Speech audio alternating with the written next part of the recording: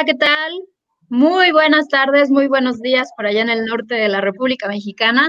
Pues aquí está, no hay plazo que no se cumpla y es la Noche de las Estrellas 2020 en modalidad completamente virtual. Y vamos a darle la bienvenida a nuestros invitados de esta conferencia muy especial, eh, donde se muestra que el arte, la ciencia y las tecnologías no están peleadas, al contrario, somos uno. Y bueno, los dejo con Octavio Moctezuma, quien es el, eh, está a cargo del intercambio artístico científico, perdón, estoy leyendo un poco, y eh, quien nos va a hablar un poco de lo que va a tratar esta conferencia. Bienvenidas las sedes. Muchas gracias, les deseamos mucho éxito en esta noche de las estrellas virtual. Gracias a todo el público que nos acompaña. Gracias a Julien que acaba de salir por ahí de pantalla, quien es nuestro nuestro apoyo técnico y a quien le debemos toda esta logística increíble que, que, vamos a tener el día de hoy. Y bueno, sin más preámbulo, la noche de las estrellas, aquí estamos, el universo de velado. Octavio, adelante. Buenas tardes. A nombre del programa Arte, Ciencia y Tecnologías, les damos la más cordial bienvenida a la presentación del taller Imaginando Marte Nochtitlán. La tripulación de esta aventura fue coordinada por Marcela Chao, Amadís Ross y Juan Claudio Toledo. Contamos con la participación de Coco Robles, Rurik Juárez, Jocelyn Gutiérrez, José Talamantes, Raquel Hoyos, Carol Borca, Livia Brenda, Jesús Campos, María Fernanda Vergara, Óscar Merino, Sergio Mejía, Nicón Olin López, Montserrat Fernández, Pilar Sáenz y, Muriel Uribe. El diseño y la coordinación visual estuvieron a cargo de Fernando Espinosa. Entonces, bueno, ya para empezar y no dejarlos con, con, mayores expectativas, pues le doy la palabra a Marcela Chao. Adelante, Marcela. Tu micrófono. Lo siento. Muchas gracias. Eh, gracias por, por, recibirnos en esta noche de tarde de las estrellas. Y bueno, pues eh, primero que nada eh, les me presento, ¿no? Soy Marcela Chaos, soy psicóloga. estudié después una maestría en museología y me he dedicado a la cultura pues durante casi toda mi vida laboral. Y en algún momento, ¿verdad? No sé si podemos poner la presentación. Em, en algún momento de esta vida laboral, decidí em, empezar a, armar un archivo eh, que compilaba toda esta información en torno al planeta Marte. Em, ya se puede ver en pantalla la presentación. Creo que falta que la, autoricen. Estoy compartiendo. Bueno, Mientras les, les cuento cómo estuvo eh, el nacimiento de, esa em, idea, fue, em, fue coincidentemente el mismo año en el que Elon Musk vino a, México, a Guadalajara, a armar, este, bueno, pues justo la conferencia aeronáutica y habló sobre los planes a ir a Marte. Y esa, esa conferencia que a muchos nos cambió la la visión de, qué tan cerca o lejos estaba esta, este sueño de ir a Marte, em, pues nos hizo un poco em, generar esta, este archivo que empieza a compilar toda esta información de manera em, colectiva en una página de Facebook que es el Mars Archive. Entonces, en este, en este archivo de Facebook, hemos estado a lo largo del tiempo eh, juntando información, pero de todo tipo, ¿no? Yo me di cuenta que, que, de pronto yo tenía como un sesgo y que solo estaba como fijándome en ciertas cosas, entonces empecé a invitar a más amigos, estos amigos invitaron a más amigos y se hizo una bola de nieve de gente que empezó a colaborar y en esas colaboraciones pues se generó este grupo que no solamente se quedó en esta cuestión del, del online, sino que em, pues ha empezado a, tener eh, colaboraciones en, físico, ¿no? Con una idea de socializar este conocimiento, ¿no? Que parecía que, estábamos como muy lejos de él, pero de alguna forma el juntarnos y empezamos a hacer unas cosas que llamamos meetups, que era juntarnos y ponernos a platicar en torno a, Marte desde distintos ángulos, nos permitió como generar toda una serie de, nuevos proyectos y nuevos planteamientos que, que, iban más allá de la compilación de información que sigue en la página de Facebook, en donde se pueden meter, que es arroba marsarchive.org y empezamos a, generar algo como más grande y más raro que pues de alguna forma bauticé como plataforma curatorial expandida para darle como un poco de sentido. Y en ese, en ese proceso eh, nos encontramos Juan Claudio Toledo y yo y empezamos a colaborar, ¿no? Y empezamos a, a reflexionar en torno a distintas cosas eh, entre ellas, eh, por ejemplo, el tiempo en Marte. Y mm, en esa cuestión hablábamos eh, de cómo sería pensar el tiempo en un planeta distinto a, nuestro planeta, porque al final sí estamos muy relacionados en cuestión de, de, o sea, los meses al final nos a dar un poco el ciclo de la luna, ¿no? Pero ¿cómo sería en Marte que tiene dos lunas que dan eh, que orbitan de, manera muy distinta a nuestra luna, o sea, una es da la vuelta cada ocho horas y la otra cada 30 más o menos, Juan Claudio, ¿no me equivoco? Sí, una cuestión de horas. Em, pues no, nos daría como el mes, ¿no? Y tampoco habrían, eh, digamos, al no haber esta vegetación o eso, no, no tendríamos como estas estaciones tan claras como las tenemos en la Tierra. Por lo tanto, nos pusimos a reflexionar en torno a eso y generamos un proyecto que es em, el calendario marciano, ¿no? Y el calendario marciano lo pueden encontrar en la página web de Mars Archive, eh, es Creative Commons, que empezó el 23 de marzo y terminará el 7 de febrero del próximo año. Así es que no nos, pegó tanto el COVID en nuestro calendario. sí fue útil durante mucho tiempo, ¿no? Todavía lo será hasta el próximo año. Y em, en este tipo de cuestiones, pues como también hacemos eh, actividades físicas de, manera eh, presencial, aunque ahora pues ya no, no será el caso por, por la situación, eh, pues quizás el próximo año podamos festejar este, este nuevo año marciano, que será el número 36. Y bueno, em, en torno a esto, eh, eh, digamos, como toda esta eh, panorama de eventos y de cuestiones y de proyectos que tiene el, Mars Archive, también tenemos esta parte que es, pues empezamos como a, tener ciertos diálogos y reflexiones en el Facebook y entre ellos salió un meme de cómo sería eh, si, nos fuéramos a Marte y fundáramos eh, una ciudad allá, ¿no? Y un poco, oh, perfecto, ahí, ahí ya podemos ver, este es el grupo de Facebook en donde nos pueden localizar. Eh, podemos darle a la siguiente. ahí, esta es la, la, página web en donde pueden ver todas las actividades que hemos realizado. Como pueden ver, ahí está el calendario marciano, los proyectos que tenemos de colaboración con distintos artistas y también eh, las actividades que hemos hecho en conjunto, por ejemplo, con el Centro de Cultura Digital, eh, que lo hicimos dos años seguidos con ellos, en el marco también de, eh, del Congreso México hacia, México, hacia, México hacia Marte, que organizó la Agencia Espacial Mexicana en el 2017. Tenemos unos podcasts que también pueden escuchar, que son muy eh, complejos, eh, hay un poco de todo, ¿no? De reflexiones en torno a Marte.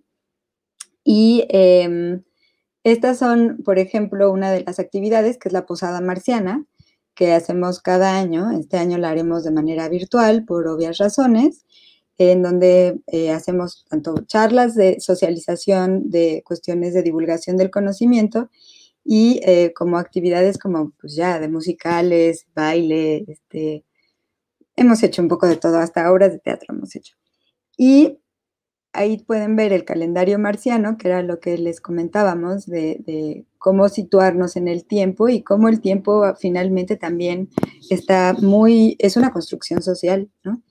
digo, obviamente pasa, pero hay una cuestión social que, que construye nuestra idea del tiempo y por lo tanto en esa misma reflexión, si le podemos dar a la siguiente, ahí es cuando sale el meme que les comentaba de la fundación de Martin Titlan, que nos llevó a pensar en la compulsión a la repetición, o sea, ¿qué haríamos si, si nos tocara fundar una ciudad en otro planeta? ¿Escogeríamos el lugar que se inunda, el lugar donde tiembla, o pensaríamos las cosas de una manera distinta?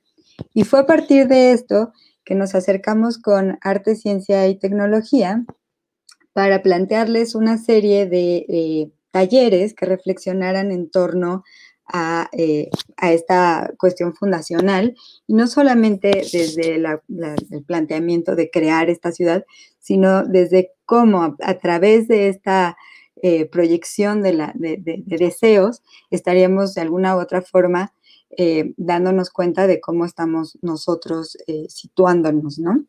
Entonces, un poco para, ya darle la palabra a Juan Claudio, eh, la idea era eh, formular tres talleres, ¿no? Este es el primero que estamos presentando, que es el de mito fundacional, y habría un segundo sobre eh, urbanismo, como ya pensar la ciudad en sí, y un tercero de contratos sociales desde un lugar agarrando las cuestiones de ciencia ficción y mucho de lo que plantea Elon Musk, que parecería ser el, em, entusiasta número uno de Marte, que es esta cuestión de Neuralink, ¿no? De poderse descargar casi en una USB.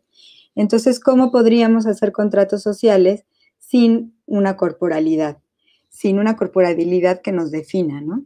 Eso sería el, planteamiento general, digamos, de, de Martin como, como taller.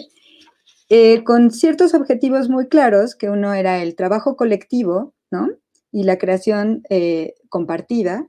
Por otro lado, era la multidisciplina, ¿no? Generar eh, una horizontalidad en, la cuestión de que no hay un, conocimiento que sea jerárquico sobre otro, sino que las disciplinas pueden colaborar entre ellas. Y por tercer, tercera parte, propiciar la ciencia ficción y también la imaginación, lo cual eh, con una idea de invitar a la gente a que se haga partícipe de este futuro y que el futuro es de ellos siempre y cuando lo puedan escribir. Pues muchas gracias, le cedo la palabra a Juan Claudio Toledo. Gracias, Marcela. Soy Juan Claudio Toledo, soy un astrónomo e investigador de la UNAM y como Marcela les comentaba ya, tengo ya un par de años colaborando con Mars Archive para tratar de de, abordar el problema de Marte desde perspectivas diferentes, desde la perspectiva colaborativa. Y voy a hablarles un poco de cómo fue el desarrollo del taller de Marte en este primer taller que, hemos organizado en torno a esta idea. Entonces, e, el, taller empezó, bueno, siendo planeado desde hace ya varios meses, pero se lanzó la convocatoria en octubre, una convocatoria abierta que, distribuimos por redes sociales, que nuestros amigos de ACT también distribuyeron a través de sus redes sociales. Y, con esto la idea era que cualquier persona interesada en la idea, ahí estaba un poco como el flyer que se compartió, también hubo un texto algo breve sobre la idea general de Martin Ostitlan, pero que no fuera algo demasiado específico, ¿no? Se dejó un, poco de ambigüedad ahí en, en la convocatoria para que gente de muchos diferentes ámbitos, de muchos diferentes intereses, se interesaran por esto eh, y entraran. Entonces, la gente que entraba a, la convocatoria tenía que responder un cuestionario que se, estaba en línea. Entonces, les preguntaban varias cosas, ¿no? Queríamos saber los perfiles, qué, estudiaban o qué habían estudiado, dónde vivían, eh, cuál era su profesión, por qué les interesaba un taller como esto, qué les había llamado la atención de, la idea de Mark Tenochtitlan y cuál era un poco su background en términos de ciencia ficción y de literatura. A ver qué tipo de, cosas habían leído, qué tipo de cosas conocían para poder así juzgar. Y la idea fue tratar de, escoger un conjunto muy multidisciplinario de personas.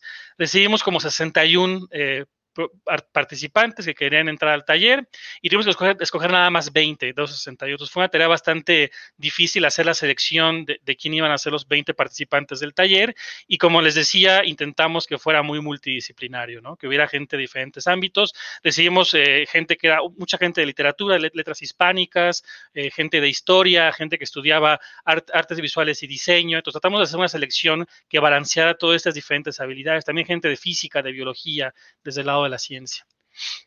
Entonces, después de la convocatoria, el taller se dio en cuatro sesiones que dimos a lo largo de, finales del mes de octubre y el mes de noviembre, en cuatro sesiones los, lunes.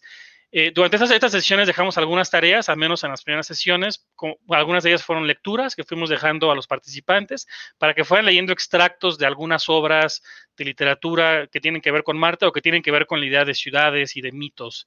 Entonces dejamos eh, lecturas sobre mitos y códices mesoamericanos, también algunos clásicos de ciencia ficción, por ejemplo, un, cuento de Crónicas Marcianas de Ray Bradbury, un extracto de Q. Stanley Robinson y también de, Italo Calvino sobre ciudades, sobre la construcción de las ciudades en el imaginario humano.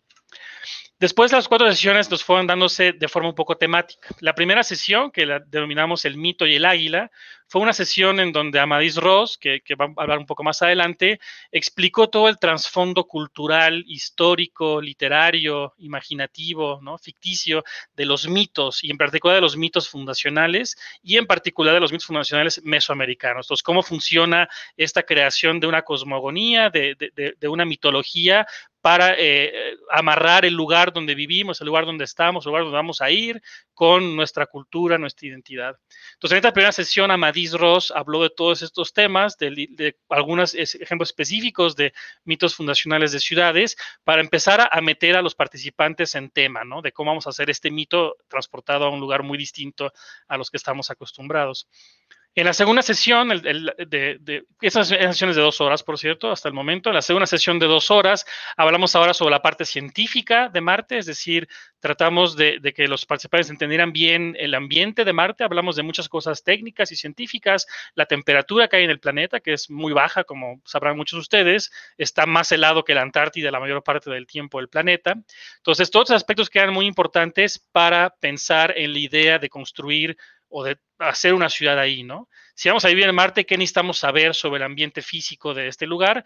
Y no tanto como un ejercicio de ciencia ficción, sino más bien como un ejercicio de mitología, porque todos los elementos que hacen difícil la vida en Marte, como la falta de aire, la falta de agua, el frío, sin duda son elementos que van a estar eh, de una manera muy íntimamente eh, incrustados en cualquier mito, porque son elementos que van a, darle las dificultades a, los humanos para vivir ahí. Entonces tenemos que revisar todo esto. Y terminamos viendo un poco un, repaso o, una exposición de cuáles son los lugares que hay en Marte donde uno podría pensar en, vivir, porque la tarea de esta segunda sesión fue que cada participante pensara por, sí mismo en dónde sería un buen lugar para poner una ciudad en Marte, para poner Marte Tenochtitlan, con base en todo lo que vimos científico antes, ¿no? Entonces se les pidió a cada, participante escoger un sitio y también crear un muy, muy breve eh, mito o al menos historia de por qué ahí se, se fundaría la ciudad. Entonces tuvimos un montón de, respuestas bien interesantes. Acá pongo algunos ejemplos muy rápidamente. Gente que incluso hizo dibujos, ¿no? Para ilustrar cómo imaginaban ellos la ciudad en el lugar que eligieron. Y la, parte de mitológica, entonces la historia que, empezaban a crear cada uno de los participantes sobre por qué la ciudad está ahí, cuál es el trasfondo histórico y mitológico de, la creación de la ciudad en ese lugar. Y con esto llegamos a la tercera sesión del taller, que fue una sesión un poco más extendida de tres horas, en donde expusieron cada uno sus sus, ideas de dónde fundar la ciudad, cuál es el, mito que le asociaron a la fundación en ese lugar. Y con esto empezamos a crear la narrativa, a crear la historia. Entonces, separamos a los participantes en tres grupos, cada uno eh, coordinado por uno de nosotros tres, y la idea es que cada grupo se encargara de como uno de los actos de esta historia que estábamos creando de forma colaborativa. Entonces, el primer acto es la llegada, cómo es que los humanos, por qué los humanos partieron en primer lugar, por qué se fueron de la Tierra y por qué llegaron a Marte y cómo fue esta llegada al planeta rojo en todo este contexto mitológico, evidentemente. Recuerden que esto, el punto no era hacer una historia de ciencia ficción tal cual, sino más bien un mito. Entonces, había siempre este tiempo mítico, esta idea de, estamos eh, pensando como desde el futuro hacia este pasado muy lejano y creando esa historia mítica de, cómo fue que llegamos al lugar donde estamos ahora. El acto 2 era la peregrinación, la idea de, ya que están en Marte, por razones que era parte de la narrativa, tenían que moverse a otro lugar entonces, todo este acto es esta peregrinación a través de Marte. Y finalmente el acto 3 ya es finalmente pues el, encontrar la señal, digamos, adecuada para fundar Marte Tenochtitlan y la fundación en sí. Entonces, cada equipo de participantes se encargó de crear uno de estos, tres actos. Y lo que hicimos como, nosotros como coordinadores fue simplemente eh, eh, poner algunas pautas mm, lo más pequeñas posibles de cómo debía empezar y terminar cada acto para que la historia pudiera ser una sola historia desde el principio hasta el final. Y, pero la idea es que dejamos esta libertad creativa lo, más completa posible, de que en cada acto los participantes discutieran entre sí, platicaran, compartieran sus ideas y fueran armando poco a poco de manera colaborativa la narrativa. Y al final de la sesión 3, entonces, se crearon tres textos. Cada equipo creó su propio texto en, una plataforma online, eh, explicando toda la historia de, su acto. Y ya para finalmente, en la cuarta y última sesión, hablar con el futuro, fue donde esta, esta historia que fue creada, pues de entrada fue eh, eh, digamos, se pegaron las tres partes de la historia y se hizo lo importante que era el objetivo final del taller, que es crear el códice. Entonces, el códice es la versión y si quieren iconográfica, la versión gráfica de esta historia. Es eh, distribuimos, les, pasamos a los participantes una colección de glifos sacados de códices mesoamericanos que, Fernando nos ayudó a digamos, digitalizar y, uniformizar en estilo. Y la idea es que en esta, última sesión del taller, pues ahora cada equipo tomara, después de haber expuesto las tres partes a todo el mundo para que todo el mundo conociera la historia de, principio a fin, entonces ahora cada equipo tenía que tomar estos glifos y representar gráficamente la historia.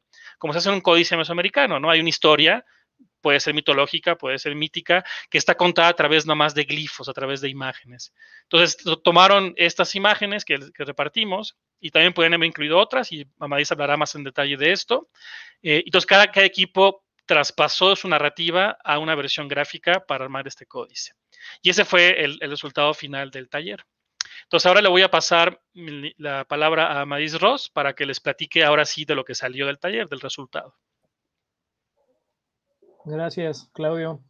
Buenas tardes. Eh, yo soy Amadís Ross. Soy escritor, soy investigador de el CENIDIAP en el IMBA, que es un centro de investigación de artes plásticas. Y también soy coordinador de un seminario de estéticas de ciencia ficción en el mismo IMBA, que, a la cual pertenece Marcela, por cierto. Em, entonces, solo, solo quisiera como repetir un poco, o más bien un poco lo que comentaban mis compañeros, en cuanto a la importancia que le dimos en este taller al poder de la imaginación a través de la ciencia ficción y del conocimiento tanto de los mitos como de los aspectos eh, físicos del planeta. Era muy importante para nosotros que, los participantes eh, echaran mano de este conocimiento para poder em, pues plantearse la posibilidad, si no entre comillas real, si em, con, con, todo el poder que puede tener un mito, y, eso este, venía sobre porque nos interesa mucho el de construir el futuro. Eh, estamos convencidos de que para poder tener un futuro, primero tenemos que, que, construir. Entonces, este, creo que no se escucha bien. Corréjanme si están escuchando bien. Un poquito cortado, pero sí te escuchas. Ok. Este, bueno, e, el asunto es de que eh, también quiero enfatizar en lo del trabajo colectivo, un trabajo horizontal, que, este, que fue algo bastante interesante porque, pues, de alguna manera no estamos tan acostumbrados a este tipo de trabajos horizontales y el tiempo que teníamos en el taller, en las cuatro sesiones, era muy reducido y, y fue muy interesante cómo los participantes de muy buen ánimo eh, pues trabajaron en este tiempo reducido de, de, manera colaborativa. Eh, de hecho, fue bastante sorprendente, fue de las cosas más increíbles del taller. Este, no sé si pasamos al siguiente, Claudia. Entonces, este, aquí estamos en, sesión. Em, y, pues bueno, el punto es que yo voy a relatarles cuál fue el mito que, este, que, se, que se hizo con detalles y, este, y luego voy a mostrarles el códice que, que, trabajó el equipo. Este, como dijo Claudio, dividimos en tres, en tres equipos. El primero se encargó de, de por qué saldríamos de, de, Y, aquí quisiera tomar un poco el asunto de la importancia. Em, durante la primera sesión que, que, tomamos este tema, em, este, estudiamos un poco sobre por qué es que existen los mitos y cuál es su importancia dentro del imaginario humano. Y entre otras conclusiones, este, este, llegamos a que los mitos son necesarios para nuestra relación con el mundo. Los mitos no son exactamente ficciones, son construcciones colectivas que, acordamos de alguna manera entre, entre todos o entre un pueblo o, entre una cultura para ponerlo entre nosotros y lo que llamamos la realidad y de esa manera poder relacionarnos con ella. Y además los mitos no son em, cosas inamovibles, se van transformando con el tiempo, se van transformando conforme las, las personas este, van cambiando su mentalidad también. Esta, esta característica plástica de los mitos hace que, este, que precisamente tengan esta fuerza, porque tenemos, algunas personas tenemos la idea de que los mitos ya no existen, es una etapa superada de la humanidad, sin embargo, eso, eso es este, completamente falso. Nuestros mitos actuales, eh, que ya llevan consigo ciencia, por ejemplo, tecnología, o, o, creencias que tenemos en la actualidad, eh, siguen, siguen estando ahí. Y para no ir muy lejos, pues está el mito del dinero. El dinero en sí, como todos lo sabemos, no vale más que un poco. Es papel, es, son, son metales, son números en una computadora. Sin embargo, todos creemos en, en, ese mito de manera colectiva y por lo cual tiene la fuerza que tiene.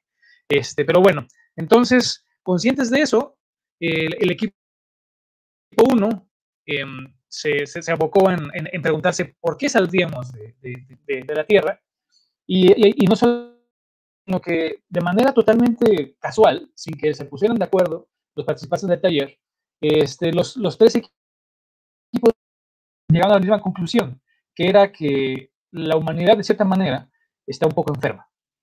Y el hecho de ir a otro planeta a, a vivir en él no es el hecho de colonizarlo, no es el hecho de llegar y llevarnos con nosotros o, o, o, que se lleven los, los, este, los peregrinos, por llamarlo así, este, la, las cosas que aquí nos han salido bastante mal, sino este, buscar una manera de, de vivir eh, con un pacto distinto, un pacto mucho más pacífico y sobre todo sin esta idea que es muy occidental de colonizar, de llegar y tomar posesión de algo.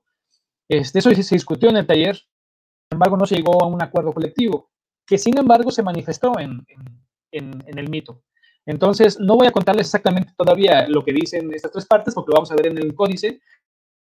Solo quiero decir que, este, que, que el equipo 1, que se, encargó de pensar cómo y por qué saldríamos de la Tierra y llegaríamos a Marte, eh, hizo un trabajo bastante pues, brillante en el sentido de que tomó elementos de, de, de, las cosmogonías mesoamericanas y las transformó con un aspecto futurista de ciencia ficción y, y lo calzó también, que, que, pues digo, ya, ya lo van a ver en el códice, eh, realmente es una maravilla porque es un equilibrio muy elegante entre, entre mitología que incluye fuerzas, digamos, sobrenaturales y ciencia y preocupaciones actuales. Ese fue el, el trabajo del, del, primer equipo, que es cómo salimos de la Tierra, cómo amortizamos. Este, aquí había una cosa que pusimos este, los, los coordinadores, que es que ellos, los peregrinos, tenían seguros que donde iban a llegar iban a encontrar agua en el subsuelo. Sin embargo, una vez que llegan, descubren que, que fue una, una falsa medición y no hay agua. Entonces aquí llegamos a la segunda parte, que es la peregrinación. Este, este equipo le, le, le, tocó resolver el gran problema de que ya estamos todos aquí con todos este, nuestros, nuestras máquinas, etcétera, nuestros trajes, y descubrimos que no hay agua, que aquí no se puede fundar la ciudad. Por otro lado, estas personas aún vienen con el pensamiento, digamos, de la Tierra, aún vienen viciados con esta, con esta visión, pues, un tanto descompuesta que tenemos nosotros. Y el punto es que deciden ir hacia el norte, donde eh, al parecer sí hay agua, y comienza una peregrinación. Esta peregrinación es este, eh, pues similar a la que realizaron los, los aztecas, que se hicieron mexicas, en la famosa tira de la peregrinación, la que estamos viendo ahorita un fragmento, o también se puede comparar con la que tuvieron los que salieron de Egipto y llegaron a la tierra prometida, y podemos encontrar este, este tema mítico en muchísimas culturas. La peregrinación es un acto eh, fundacional en sí mismo, porque eh, al momento en que, en que van avanzando, eh, están forjando su, su, propia idiosincrasia, su manera de pensar, y además, en este caso en particular, también en, en algunos mitos, pero este en particular de Matenochtitlan, se están purificando. Están comprendiendo lo que es estar en Marte, están comprendiendo eh, lo que significa estar en un lugar tan hostil, porque como decía Claudio, es un lugar helado. Eh, y bueno, me imagino que la mayoría de ustedes saben que es un lugar realmente inhóspito en el sentido de del el polvo es muy fino, se mete a todos lados, no hay protección contra los, contra los rayos este, solares y cósmicos, no desde, la gravedad es mucho menor y eso aunque facilita algunas cosas, otras las complica. Entonces, los peregrinos van avanzando con una gran cantidad de peripecias y de problemas y tardan muchos años. Esto es muy importante, tardan muchos años, al punto de que, al punto de que los originales que llegaron a, este, a Marte van muriendo, pero van naciendo nuevas personas que ya son, eh, con todo el derecho, marcianos, o, lo, como, como se llamará más adelante, martenochkes. Y bueno, y finalmente, después de penurias este, increíbles y de comprender cuál es su papel en este planeta, que no es, insisto, como dije, de colonizadores, sino es aprender a vivir con. Eh, finalmente, eh, las fuerzas que los están guiando, de alguna manera, este, que, los humanos le ponen nombres de dioses, eh, les indican el lugar donde pueden fundar su ciudad y, y además el nombre que debe tener. Así es como se convierten en Martenoshkas y funden Martenochtitlan. Eso es este, a grandes rasgos. Y eh, antes de pasar al códice, solo quisiera decir que, este, bueno, eh, ustedes van, a poder encontrar una versión descargada para que lo puedan leer con calma este, en las páginas de, Noche de las Estrellas, de, de, este, de ACT y de Mass Archive. Pero bueno, solo quisiera decir que este trabajo en sí fue, fue realmente increíble. Eh, se dio una colaboración horizontal realmente, pues como yo pocas veces he visto, y, y, y por sí ya es maravilloso, pero todavía los pusimos a transportar esto, imágenes, lo cual es un reto de un calado distinto. Uno puede tener una mente muy narrativa, pero no a fuerza es una mente visual o una mente gráfica. Y, y, este reto, pues estábamos muy, este, Marcela, Claudio y yo, muy pues, a la expectativa de cómo iba a funcionar. Eh, contamos con la norma ayuda, como, como mencionaban, de Fernando, que él este, tomó varios de los glifos que seleccionamos de códices y los, los, los transformó a, este, digamos, los limpió y los puso disponibles para poder moverlos desde una plataforma este, en línea. Y pues de alguna forma, pues los equipos comenzaron con sus mitos recién creados una semana antes. Y bueno, ilústrenlos. El, el estudio de los, de los este, códices mesoamericanos lleva, lleva muchísimos años. Todavía no acabamos de comprender este, exactamente sus lógicas, y porque además son de pueblos distintos diferentes y, este, y, tenían ciertas variantes. No es como se lee un cómic, por ejemplo, eh, y tiene además simbolismos sobre simbolismos que de alguna forma ignoramos. Sin embargo, para, para Tenochtitlan, lo que fue que, fue, fue que acordamos lo que significaba cada, cada glifo y in, imbuidos en el espíritu del, creativo del, del mito, pues los equipos trabajaron. Entonces, pues ahora vamos a ver el códice y voy a narrar en un resumen bastante breve, como, ¿cuál es el mito? Este, yo los invito a que descarguen la, versión este, para que lo puedan leer con todo detalle, porque es algo bastante rico y además les va a sorprender que eso haya salido de tantas cabezas en tan poco tiempo. Pero bueno, aquí tenemos a lo que se denomina la vieja isla o la tierra, pero dentro del mito se llama la vieja isla. Y la vieja isla está, pues tiene problemas de alguna manera la humanidad ha perdido lo que nuestros este, talleristas bautizaron, déjenme ver el nombre para no equivocarme, el guayotl, que significa alma.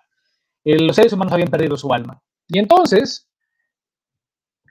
los que denominaron dioses, en este caso el dios del vacío, el dios del viento, que es Hecatl, y la diosa del polvo, que es una diosa totalmente marciana, que se llama Tehuyoti Kashali, les dan un mensaje a, los humanos para que busquen un nuevo lugar donde puedan ir a purificarse y aprender sobre lo que están, han estado haciendo. Aquí, en la segunda parte del, códice, podemos ver a los dioses dando su revelación hacia las personas y les están indicando, tienen que ir hacia lo que nosotros conocemos como Marte, pero que realmente en, dentro del mito se le llama la Isla Roja. A la Isla Roja. Tienen que cruzar los ríos de obsidiano, que es el espacio, hacia la Isla Roja. De manera que, este, que los que los grandes señores de, la vieja de, la vieja isla, de la isla vieja que es la Tierra, construyen una nave que se llama Gran Quetzalcoatl, que es lo que vamos a ver aquí más adelante en la siguiente sección del códice. Es una este, enorme serpiente con plumaje metálico y dorado, este, que está en órbita de manera que está constantemente yendo y viniendo entre tierra y mar. cuatro años, si no me equivoco. Es verdad, ¿no, Claudio? ¿Para cuatro años? Día de nuevo cada, la Tierra. Cada dos años y cacho. Corrígeme si no, Claudio, por favor. Dos años. Cada dos años y, cacho. Bueno. Y, ¿Perdón? Dos, ok, eh, digamos dos años. Entonces, eh, eh, en, esta, en este gran Quetzalcoatl embarcan robots, vehículos, provisiones, y los envían a Marte. Estos vehículos buscan donde hay agua y, les dicen, aquí en el cráter, en el gran cráter de Elas, que es la parte más baja de Marte por mucho, aquí encontramos agua. Y entonces, este, en el siguiente ciclo, 400 muy valientes este, viajeros se suben a, esta nave y, van hacia Marte suspendidos en, suspensión criogénica y son bautizados como los Ensontli, porque son 400, son, son 20 veces 20. Estos Ensontli finalmente llegan a Marte y descienden en el, en el cráter de Elas. Vemos un poco más adelante el códice. Descubren, ahí pueden ver un poco más hacia abajo, Claudio, por favor. Y, descubren que, que, que, ahí en el Elas las mediciones están equivocadas. Aquí vemos como el, el, lander posado y descubren que no, no hay agua. No hay agua y eso significa que no pueden fundar la ciudad ahí. Y entonces el líder de la expedición decide enviar mm, robots y vehículos en, automatizados en cuatro direcciones para encontrar el sitio más cercano con agua. De, de estas tres, de cuatro misiones hacia el este, oeste y sur, desaparecen entre las tormentas de polvo, no se vuelve a saber de ellas, pero la que va al norte les dice que en el norte hay agua. De manera que deciden emprender su, su larga caminata. Ellos no saben que será larga caminata, pero bueno, deciden comenzar a ir hacia el norte, que es lo que estamos viendo en esta parte del códice. Y así, y así es como termina la parte de que hizo el equipo 1. Pasamos a la, parte que hizo el equipo 2, que es la peregrinación, que es el, digamos, el, trayecto y la parte más ardua de todas. Em, ponen en marcha sus, máquinas debido a la alta este, radiación que tiene Marte. La mayoría de los, de los 400 en Sonti avanza, bajo tierra con enormes máquinas que hacen túneles. Y otros, que son elegidos entre los más valientes, van en la parte de arriba este, y van avanzando poco a poco. Para esto, debo decir que los Sensontli, vamos a llamarlos así, no, no humanos, sino Sensontli aquí en adelante, van vestidos con unos trajes presurizados que están hechos con base en fibra de nopal. Esto permite que sean flexibles, son muy resistentes y son fácilmente este, reparables. Entonces, eso es importante este, porque más adelante se van a encontrar con algo que va a ser juego con sus... El, punto es de que siguen avanzando y para poder guiarlos, las, las mediciones, están haciendo una, especie de comunicadores, que son como mochilas, que, que, van siendo transportados por personas a pie, que les llaman los tameme. Estas mochilas que les van hablando a los, a los, a los sobre qué van a encontrar, este, qué más adelante, el clima que viene, si hay una tormenta de, de polvo, etcétera, este, se convierte de alguna forma en, en, en los, en los voceros, incluso en voces. El punto es de que vamos a encontrar que más adelante. Eh, perdón que te interrumpa. Se topan con un. Nada más, este. falta hablar de, de una invasión una invasión importante. Sí, justamente eso es lo que iba. Este, en cierta parte del subsuelo se encuentran con vida, vida marciana en forma de bacterias. Y estas bacterias, eh, al descubrir a estos humanos y sus trajes de nopal, infectan, infectan los trajes de nopal.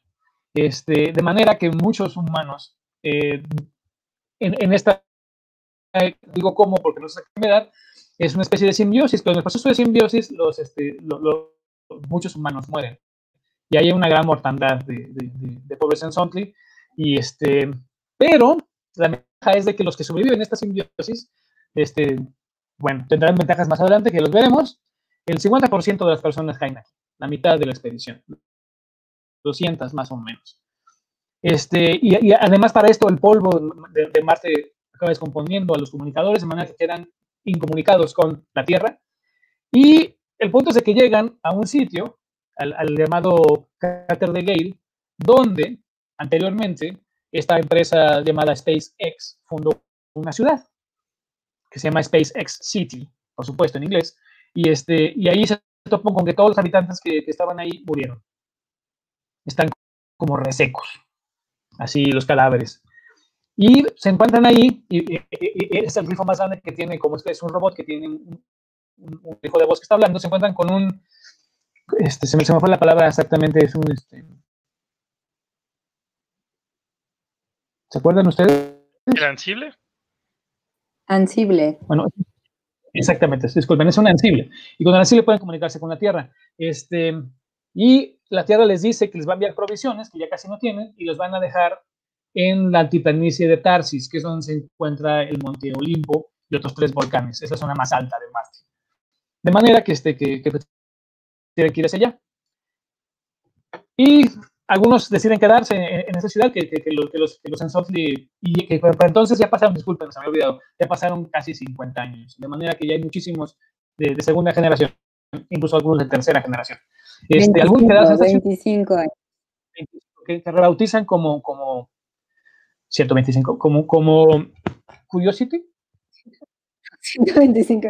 25, exactamente. Curiosity City. Y este, algunos se quedan y no se vuelve a saber de ellos, los demás siguen avanzando, este, y ahí les toca, les toma otros 25 años llegar desde el cráter de Gale hasta las faldas de Tarsis, porque si, si, si ven su mapa está bastante lejos, todo eso es en el norte ya del planeta. Eh, el punto es que cuando están ya a los pies de Tarsis, que es una altiplanicie muy, muy alta, es más alta que, la altiplanicie es más alta que el Everest, y aparte están los volcanes encima. Este, antes de subir, decide hacer un rito de purificación y una fiesta. Y este, debo decir que además durante este trayecto les, está ayudando la simbiosis con los trajes que están contaminados por las bacterias. Ellos reciben una especie como de, de, maná que los va alimentando. Y cuando llegan hasta al, al, al, pie de Tarsis, aquí vemos el Monte Olimpo, los trajes con las bacterias segregan una especie de pulque que los emborracha. Y están en una fiesta y aquí vemos el pulque, vemos la fiesta, y en esta fiesta comienzan a tener como una especie de, alucinaciones, de visiones, y deciden quemar los vehículos, el ansible, de manera que puedan ascender totalmente purificados hacia Tarsis, donde los encuentran, donde, los esperan las provisiones, y ahí tal vez ya puedan fundar su ciudad finalmente después de 50 duros años y, y penurias interminables. Y bueno, llegamos a Tarsis. Y en Tarsis descubren que no hay ninguna provisión, no hay nada. Y de, manera que están, pues, se rinden, se rinden por completo, dicen esto ya es este, el final, sacrificamos nuestras máquinas, todo quedó atrás, estábamos seguros que ya habíamos por fin cumplido con lo que nos estaban pidiendo, y pues no, ¿cuál? Se rinden y se quedan dormidos. Y en, sueños, los dioses, la diosa, de hecho, la, diosa del polvo, Shal, les manda una visión y, en esa visión ven la entrada a una cueva. Y, les dice, si entran en esa cueva, ahí van a encontrar la respuesta que están buscando. De manera que despiertan y guiados por, por los más jóvenes, que son los que tienen más este, esperanzas este, en, el futuro y no se han rendido, encuentran este, la entrada a esta cueva y descienden. Descienden a la cueva y descubren que adentro hay una bóveda enorme, enorme, pero realmente enorme, monumental, en la que hay una antiquísima ciudad marciana antiquísimo, de proporciones descomunales. Es una ciudad en la oscuridad absoluta. Y en esa oscuridad, además, los marcianos muertos hace miles y miles de años comienzan a susurrarles. De manera que es una, una experiencia muy poco agradable. Pero, el, pero están buscando alguna solución a su problema de estar perdidos, así que se dividen en equipos. Uno de los equipos encuentra un templo que pueden ver aquí abajo a la izquierda, y activan un mecanismo que hace que el templo resuene. Y eso despierta algunas cosas en esa, ciudad, algo, cosas que tal vez ellos no deben haber descartado. Para esto, aquí vemos la ciudad, lo que están viendo, y, arriba son, son, cuevas, es la entrada a la ciudad.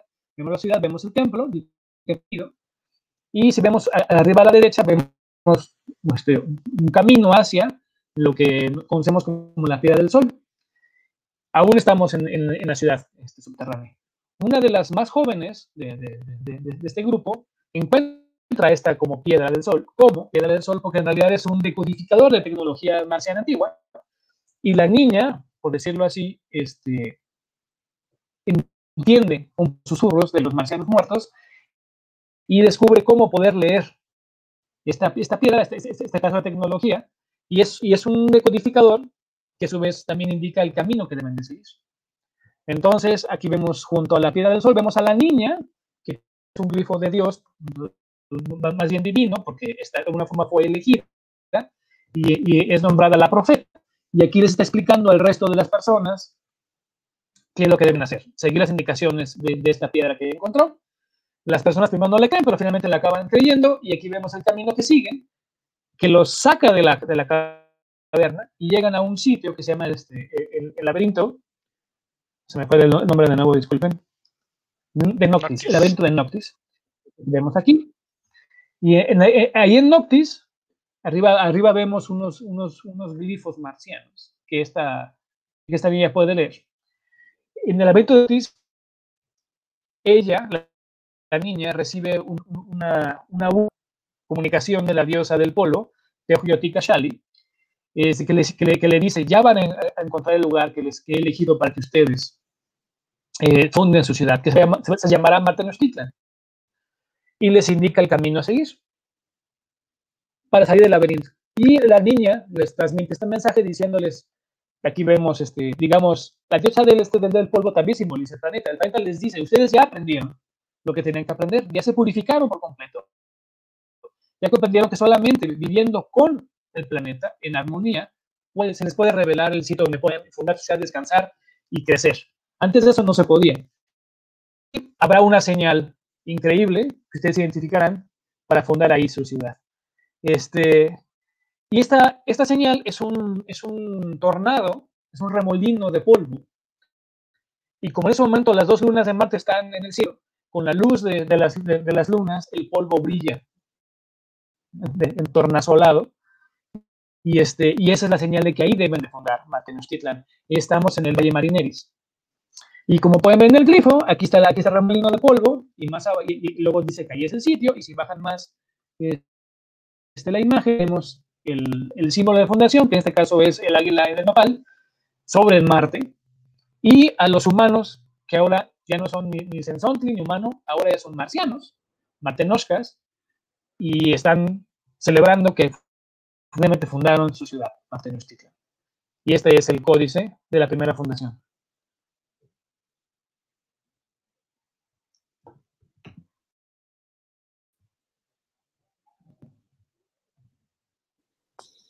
que también podrán descargar, por cierto. Y este, a continuación, bueno, aquí vemos un, este, un sketch de cómo iba a ser el Quetzalcoatl. Este, a continuación veremos este, unos videos de, en un video de, de, algunos de los, bueno, lo, que les explicaba sobre el tratamiento de los glifos, los glifos nuevos que se hicieron, que obviamente no existían en los mesoamericanos, como robot y nave, pero hubo, hubo otros que hizo Fernando. Y, este, y ahora vamos a ver el video donde escucharemos a algunos de los participantes del taller. Muchas gracias.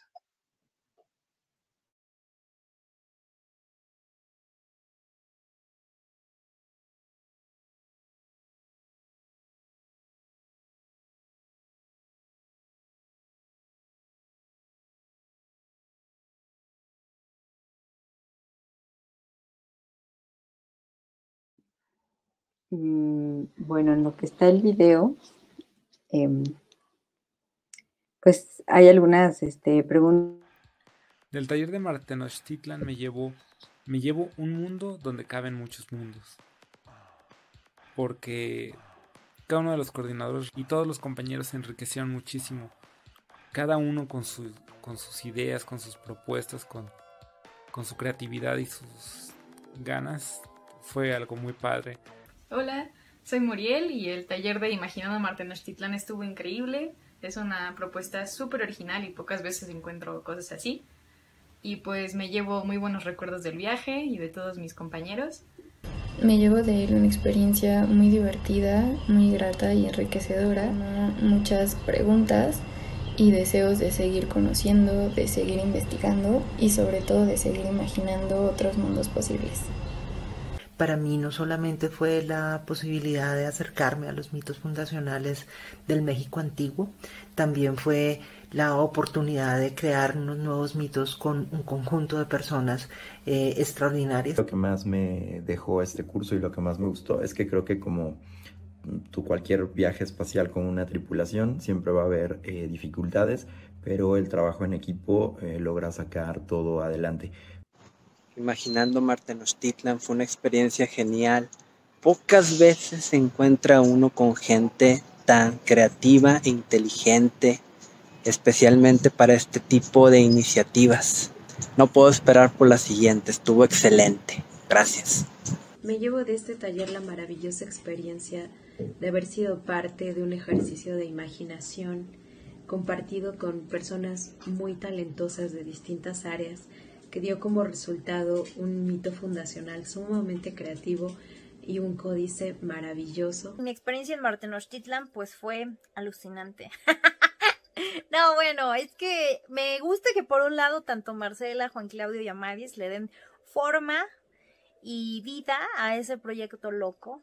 Que estemos gente de distintas disciplinas, pues también lo hace enriquecedor, de ciencia, literatura, tecnología. Eh, la verdad es que parecería algo tan inocente como decir vamos a hacer un mito fundacional, pero la neta es que cuando fuimos ya abordando nos dimos cuenta de un chingo de cosas. Quedo sobre todo con el ejercicio de imaginación, del trabajo en equipo, de ponernos de acuerdo, de resolver problemas así fuera eh, en en pixeles y no en la vida real, pero para poder ir a Marte, primero necesitamos imaginarlo. Y son ustedes, ustedes Matenochka, son el tesoro del taller, conocer a gente capaz, imaginativa, valiosa, increíble, em, con ganas de hacer cosas, hacer cosas. Eso es lo que más me gustó. Eh, me siento en manada. Podemos estar viendo los despegues, los lanzamientos de las misiones espaciales, seguirle paso a este grandísimo momento en nuestra raza, eh, jamás antes visto. Encanta escucharles, me encantaron sus clases. Muchas gracias a CT, Marcela, Juan, Amadís, increíbles. Qué, ganas de hacer cosas, en serio. Eh, un fuerte abrazo y hay muchas cosas que hacer. allá afuera, como pueden ver, está brutal ahorita las cosas. Les mando un abrazo a todos, un abrazo marciano.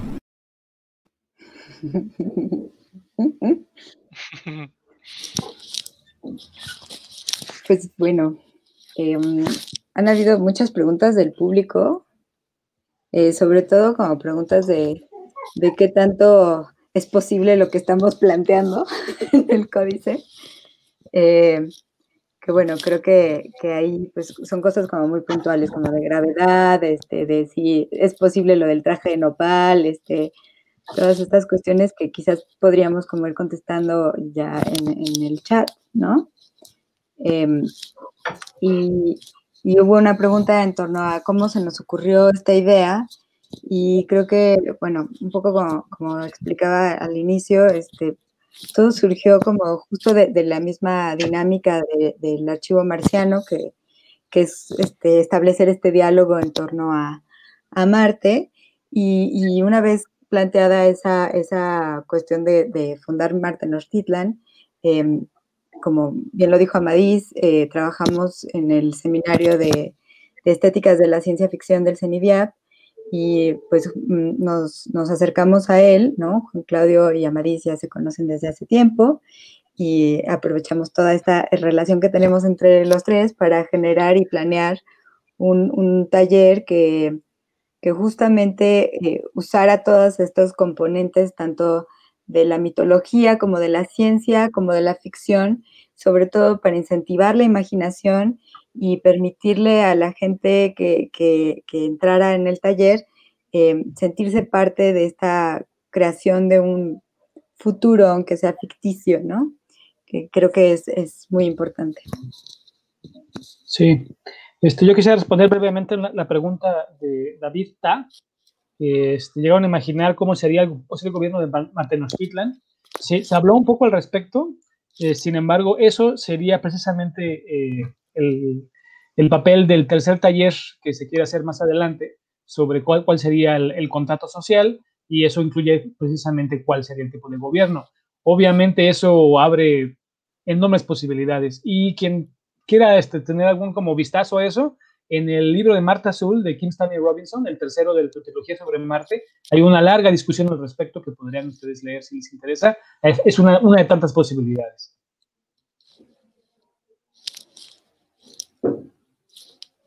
También hay, hay, muchas preguntas sobre la posibilidad de vivir los seres humanos en Marte. Gente pregunta que si es 100% saludable vivir allá, que si las condiciones de Marte son viables para la vida humana. Y la respuesta sencilla es que no, ¿no? Marte es un lugar muy, muy inhóspito para los seres humanos. No hay aire en Marte, prácticamente no hay aire. Hay, hay, un poco de aire, pero no suficiente para respirar, digamos. Y aunque hubiera suficiente aire, el aire ni siquiera es, es respirable. No, no hay suficiente oxígeno en la atmósfera de Marte y hay mucho dióxido de carbono. Está casi compuesta de dióxido de carbono en su, en su, completa, en su completez, entonces es venenosa la atmósfera de Marte. Entonces, no hay aire, el poco que hay es venenoso, hace muchísimo frío, las temperaturas pueden llegar a menos de menos 100 grados Celsius en, las noches en, en, muchas partes de Marte y, es muy raro que lleguen a, a, cero grados, digamos, ¿no? El, el, día así más caluroso del año, en el lugar más ecuatorial, tal vez llega a cero grados o a, un poco arriba de cero la temperatura, pero el resto del, del tiempo está muy por debajo de cero. Entonces quiere decir que tampoco hay agua líquida, es imposible que haya agua líquida por un lado porque la presión atmosférica es muy baja y por otro lado porque hace demasiado frío, entonces se, se congela. Y, también eh, la radiación que llega de, del espacio debido a los rayos cósmicos y a la radiación del Sol y a partículas cargadas que vienen del Sol llegan a la superficie de Marte sin mucho, mucha protección. Aquí en la Tierra tenemos la atmósfera y tenemos este, una capa de ozono para bloquear los, los, rayos ultravioletas del Sol. En Marte no hay eso, entonces la superficie también es un lugar de, muy peligroso para los seres humanos. Entonces, cuando vayamos seres humanos a Marte, vamos a tener que ir bien protegidos, ¿no? Con trajes espaciales para poder respirar o adentro de hábitats presurizados, con protección de la radiación de, de alguna manera, y pues llevaron también comida y suministros desde la Tierra, porque tampoco es muy fácil eh, obtener los alimentos de allá, ¿no? El agua tal vez se puede obtener de, de Marte, pero eh, va a ser difícil hacerlo y la comida, pues sin duda habrá que eh, tratar de hacer que agricultura como hidropónica o algo por el estilo allá, pero tendrá que ser mucho también dependiente de la tierra cuando vivamos allá. Entonces es un lugar muy difícil, ¿no? Esa es la, la, la respuesta. Peor que la Antártida, peor que la cima del Everest aquí en la Tierra. Sí, este, también preguntan sobre dónde están disponibles los materiales eh, en la página de massarchive.org y también en, en, en, la página de ACT, que es Arte, Ciencia y Tecnologías, tecnologías.mx, diagonal Matenochtitlan. Si no me equivoco, no sé si en otros sitios están disponibles, pero al menos ahí, en esos dos lugares están. Sí. Y Mars Archive es literalmente marsarchive.org, ¿no? Así le ponen en su navegador y entran a la página de Mars Archive y ahí está arriba en, en el menú la Liga Martenochtitlan. Bueno, y se nos acaba el tiempo. Muchísimas gracias a los que nos están viendo y escuchando. Muchas gracias a Noche de las Estrellas, este ACT. Y sobre a todos todo que a los trabajaron para hacer Y a los participantes, sí, y, estuvo padrísimo. Decir, y sobre todo a los participantes. Cuando ustedes descargan el códice verán los nombres de todos, ya los dijimos, pero, pero para que vean. Y, y si nos están viendo participantes del taller, en serio, muchísimas gracias. Fue una, un, una vivencia increíble. Muchas gracias. Pues muchas gracias Marcela, Madís, Juan Claudio, por haber reunido el pasado y el futuro en un solo proyecto, algo que es muy difícil, ¿no? La mitología y la ciencia ficción. Creo que fue un, un, un, un proyecto muy, muy interesante y muy productivo. Pues bueno. Gracias a la Noche de las Estrellas y sigan toda la programación. Gracias.